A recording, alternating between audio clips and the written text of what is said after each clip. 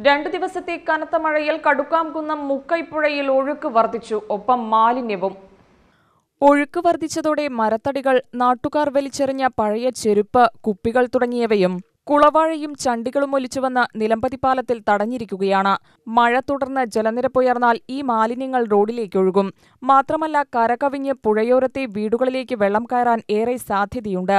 കഴിഞ്ഞ രണ്ടു വർഷത്തെ പ്രളയത്തിലും ഈ പുഴ കരകവിഞ്ഞ് സംഹാരതാണ്ഡവമാടിയിരുന്നു. ഉപയോഗശൂന്യമായ വീട്ടുപകരണങ്ങളടക്കമുള്ള മാലിന്യങ്ങൾ വലിച്ചെറിയരുതെന്ന് പറഞ്ഞാലും ജനങ്ങൾ അനുസരിക്കുന്നില്ലെന്നും നഗരപ്രദേശങ്ങളിൽ നിന്നുള്ളവരും മറ്റുമാണ് മാലിന്യങ്ങൾ ഇവിടെ വാഹനങ്ങളിൽ കൊണ്ടുവന്നിടുന്നതെന്നും പുഴയോരത്തെ വീട്ടുകാരിൽ ചിലർ പറഞ്ഞു.